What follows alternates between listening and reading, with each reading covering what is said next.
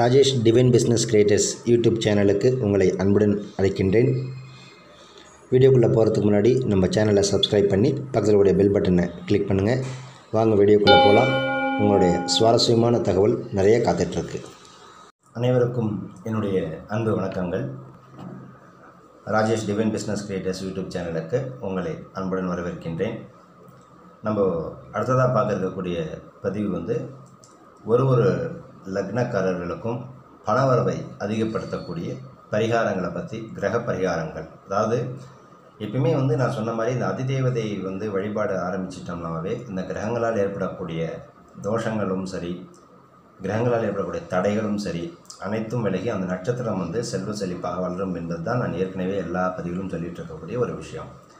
So அந்த வகை அந்த வகையில் வந்து பார்க்கும் பொழுது இந்த கிரகத்தால் சில தடைகள் வந்து இருக்கத்தான் செய்யும்.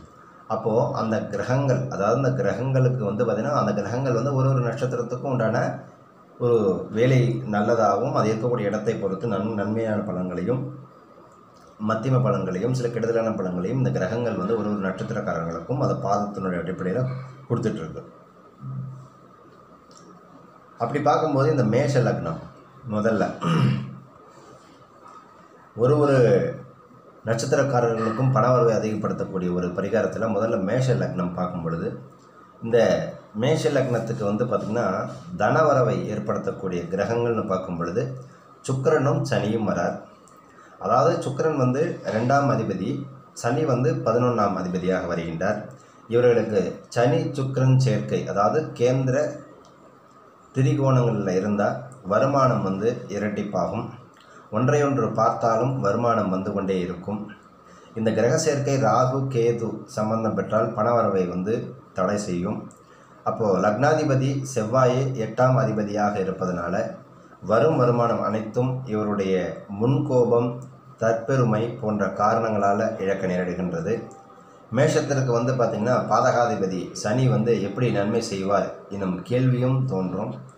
அப்போது ஜாதகருக்கு வரும் வருமானம் அவரை விட குடும்ப நபர்களுக்கே அதிக பயன்படும் என்பதால் சுக்கரன் சனி சம்பந்தம் வந்து சிறப்பான நன்மைகளையே தரும்.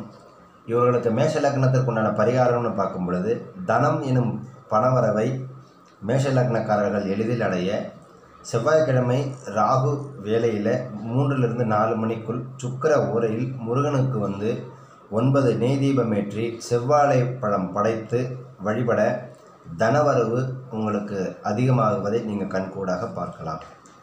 அடுத்ததாக பார்க்கக்கூடிய லக்னம் வந்து பார்த்திங்கன்னா ரிஷப லக்னம். இந்த ரிஷப லக்னத்திற்கு உண்டான ஒரு மிக முக்கியமான அம்சம் இருக்குது ஏன்னா ஒரு ஒரு லக்னத்திற்கும் வந்து பார்த்திங்கன்னா ஒரு ஒரு பரிகாரங்கள் இருக்கிறதுனால இந்த பதிவில் மேஷ லக்னத்தை பற்றி நான் சொல்லிகிட்ருக்கேன் எப்பயுமே இந்த மேஷ லக்னக்காரர்கள் வந்து பார்த்திங்கன்னா ஒரு சிறப்பான வாழ்க்கையை வாழ்வதற்கு நான் ஏற்கனவே சொன்ன மாதிரி இந்த ராகு பகவான் வந்து பார்த்திங்கன்னா அந்த ராகு நேலையில் செவ்வாய்க்கிழமை ராகு காலத்தில் நீங்கள் வந்து இந்த சுக்கர ஓரையில் நான் சொல்லிகிட்டு இருக்கிற மாதிரி முருகனுக்கு ஒன்பது நெய்தீபம் ஏற்றி செவ்வாழை படம் படைத்து வழிபட தனவரவு வந்து உங்களுக்கு அதிகப்படுத்துன்னு சொல்லியிருக்கேன். இதை வந்து தொடர்ந்து வந்து நீங்கள் எத்தனை வாரம் பண்ணணும் அப்படின்னு பார்க்கும் பொழுது தொடர்ந்து ஒன்பது வாரம் தொடர்ந்து விடாமல் பண்ணி கொண்டு வந்துட்டு வந்தீர்கள் என்றால் உங்களுடைய வாழ்க்கையில் வந்து பார்த்திங்கன்னா அந்த பண தடைகள்ங்கிறது நீங்கும். ஏன்னா தடைங்கிறது நான் ஏற்கனவே சொன்ன மாதிரி இந்த தடைகளை உருவாக்கக்கூடிய கிரகம்னு பார்க்கும் பொழுது அது வந்து கேதுவும் ராகும் சனியும் வருது. அப்போது இந்த தடைகளை நிவர்த்தி செய்யக்கூடிய கிரகமாக இருக்கக்கூடிய அந்த ராகுவை கட்டுப்படுத்தக்கூடிய ஒரு கிரகம் வந்து சக்தி. அப்போது அதிதேவதே சக்தி வருகின்றார். அப்போ சக்தியை வந்து அம்ச வழிபட ஆரம்பிக்கும் பொழுது அந்த மேஷலக்னக்காரர்களுக்கு பலவிதமான யோகங்களையும் பலவிதமான செல்வ செழிப்பையும் பெற்றுத்தரும் என்று சொல்லி இந்த மேஷலக்னக்காரர்கள் வந்து பார்த்திங்கன்னா ஏற்கனவே நான் சொன்ன மாதிரி வழிபட வேண்டிய தெய்வங்களை பற்றி ஏற்கனவே அதிதேவதைகளை நான் கொடுத்துருப்பேன். இந்த மேஷலக்னக்காரர்கள் யாரை வழிபடணுன்ட்டு அதில் ஒரு பரிகார ஸ்தலமாக பார்க்கும் பொழுது முதல்ல அதே போல் உங்களுக்கு உங்களுடைய இந்த மேஷ ராசிக்கு வந்து உங்களுக்கு அதிர்ஷ்ட தினங்களாக வருவது வந்து பார்த்திங்கன்னா அஸ்வினி பரணி கிருத்திகை ஒன்றாம் பாதம் ஆகிய நட்சத்திரங்களில் பிறந்தவர்களுக்கு வந்து பார்த்திங்கன்னா ஏழு எட்டு ஒன்பது பதினொன்று பதினாறு பதினேழு பத்தொன்பது இருபத்தி மூணு இருபத்தி நாலு இருபத்தி எட்டு.